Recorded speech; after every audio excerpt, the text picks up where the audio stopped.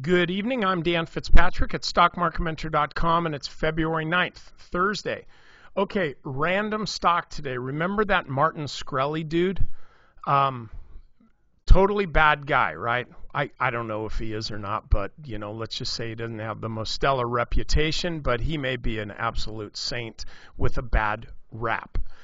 But this company, this is his uh, former company, the one that he uh, supposedly defrauded. But I'm not talk. I'm not here to chit chat about Martin Shkreli. Don't know the man, but I know this pattern.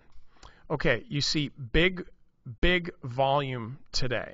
The company doesn't report earnings until the 23rd.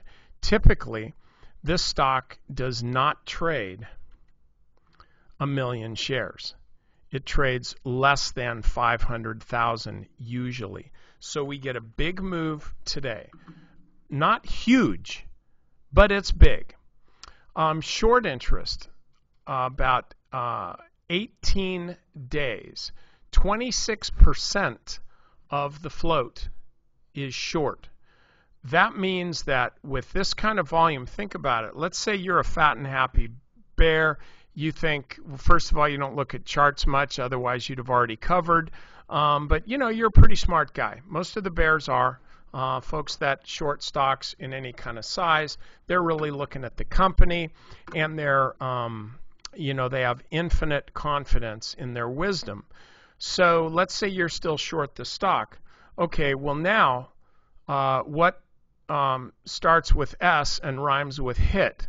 Okay, that's what you're saying now. This is up and this is on a breakout on volume.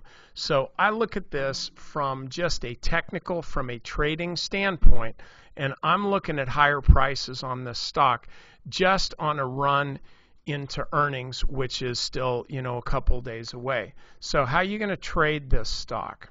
Okay, we'll go down and we'll look at the 15 minute chart. There, we'll bring it up to present day. So most of the volume hit first thing in the morning.